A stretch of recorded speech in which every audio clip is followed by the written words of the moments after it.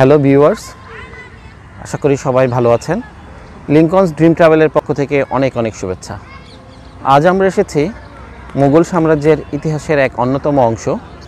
ষোলোশো সালে তৎকালীন মুঘল সাম্রাজ্যের সুবেদার মীর জুমলা কর্তৃক নির্মিত ঢাকা শহরকে বহিঃশত্রুর আক্রমণ থেকে রক্ষা করার জন্য যে তিনটি জলদুর্গ নির্মাণ করা হয়েছিল, তার মধ্যে অন্যতম সোনাকান্দা দুর্গ। সোনাকান্দা দুর্গ, নারায়ণগঞ্জ জেলার বন্দর উপজেলার শীতলক্ষা নদীর পূর্ব তীরে অবস্থিত।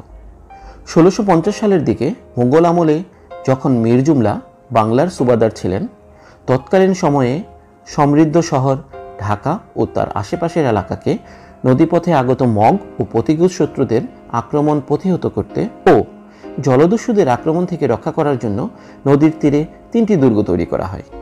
এই তিনটি জলদুর্গের দুটি হচ্ছে নারায়ণগঞ্জের শীতলক্ষার দুই পারে একটি শীতলক্ষার পশ্চিম পারে হাজিগঞ্জ দুর্গ, আরেকটি শীতলক্ষার পূর্ব পারে সোনাকান্দা দুর্গ এবং অন্যটি মুন্সীগঞ্জের ইদ্দাকপুর দুর্গ। দুর্গের সবচেয়ে আকর্ষণীয় অংশ হচ্ছে এর পশ্চিম অংশে উঁচু, বিশাল গোলাকার কামান প্ল্যাটফর্ম। অনেকগুলো বড় বড় সিঁড়ি টপকে উঠতে হয় প্ল্যাটফর্মে। দুর্গের পশ্চিম দিক দিয়েই বয়ে যেত শীতলক্ষা নদী। তাই এই পশ্চিমমুখী কামান প্ল্যাটফর্মের উঁচু মঞ্চে শক্তিশালী কামান স্থাপন করা হয়েছিল। নদীপথে আগত জলদস্যুদের ঠেকাতে।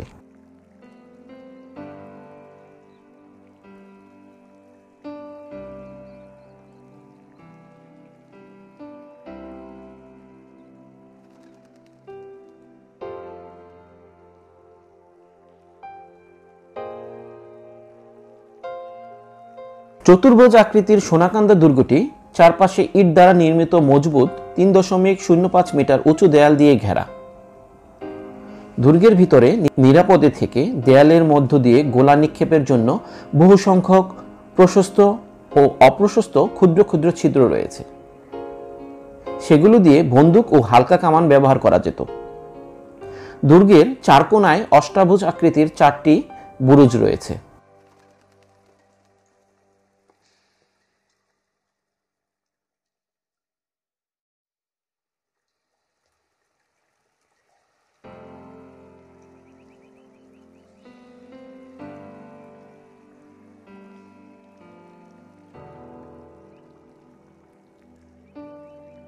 দুর্গের উত্তর পাশের প্রাচীরে উত্তরমুখী একটি মজবুত প্রবেশ তোরণ রয়েছে। এটি দুর্গের একমাত্র প্রবেশ তোরণ।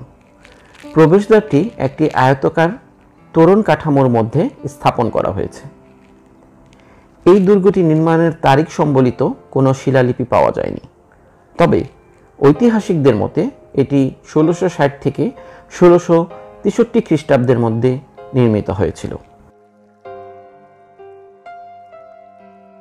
সোনাকান্দা দুর্গ ও সোনাকান্দা নাম নিয়ে লোক সমাজে দুটি চমৎকার মর্মস্পর্শী জনশ্রুতি প্রচলিত রয়েছে।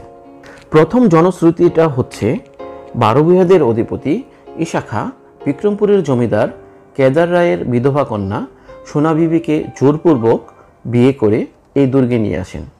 বিষয়টা মেনে নিতে পারেনি সোনা বিবি তিনি নীরবে নিবৃতে দুর্গে বসে রাত দিন কাটতে থাকেন। সেই থেকে দুর্গের নামকরণ হয় সোনা কান্ধা। দ্বিতীয় জনশ্রুতিটা হচ্ছে, রাজা কেদার রায়ের মেয়ে স্বর্ণময়ী এসেছিলেন লাঙ্গলবন্দে পুণ্য স্নান করতে। একদল ডাকাত স্বর্ণময়ীর বজরায় হানা দেয়। প্রচুর স্বর্ণালঙ্কার সহ স্বর্ণময়ীকে অপহরণ করে। পরে ইশাখা তাকে উদ্ধার করে কেদার রায়ের কাছে ফেরত পাঠাতে চান। কিন্তু মুসলমানের তাঁবুতে রাত কাটানোতে জাত গেছে। এই অভিযোগে কেদার রায় স্বর্ণময়ীকে আর ফেরত নেননি। এ খবর শুনে স্বর্ণময়ী কেল্লার তাঁবুতে দিনের পর দিন কেঁদে কেঁদে কাটিয়েছেন। আর তাই এর নাম হয় সোনার কান্দা বা সোনাকান্দা আমাদের এই ভিডিওটি যদি আপনার ভালো লেগে থাকে, দয়া করে একটি লাইক দিবেন। ভালো লাগলে সোশ্যাল মিডিয়াতে শেয়ার করতে পারেন। ভিডিওটি আপনার কেমন লাগল কমেন্ট করে আপনার মতামত জানান। আমরা এই চ্যানেল থেকে নিয়মিত ট্রাভেল ও ফুড সংক্রান্ত ভিডিও দিয়ে থাকি। ভবিষ্যতে আমাদের এই চ্যানেল থেকে এ ধরনের আরও নতুন নতুন ভিডিও দেখতে চাইলে চ্যানেলটি সাবস্ক্রাইব করে রাখুন। সোনাকান্দা দুর্গে কীভাবে যাবেন? ঢাকার গুলিস্তান থেকে নারায়ণগঞ্জগামী উৎসব, বন্দন, হিমাচল। বাসে করে চলে আসুন নারায়ণগঞ্জের বাস স্ট্যান্ডে। বাস থেকে নেমে সামনে এগিয়ে গেলে বন্দর খেয়াঘাট। বন্দর খেয়াঘাট পার হয়ে নিন। ভাড়া দুই টাকা জনপ্রতি তারপর রিক্সায় চল্লিশ টাকা ভাড়া নিয়ে চলে যেতে পারেন সোনাকান্দা দুর্গে। কোথায় থাকবেন? ঢাকার খুব কাছে হয়, একদিনের মধ্যেই সোনাগান্দা কেল্লা ঘুরে আসতে পারবেন আজ এ পর্যন্তই। ইনশাল্লাহ দেখা হবে আগামীতে অন্য কোথাও, ভিন্ন কোনো স্থানে। আর সে পর্যন্ত ভালো থাকুন, সুস্থ থাকুন। সে প্রত্যাশায় বিদায় নিলাম। আল্লাহ হাফিজ।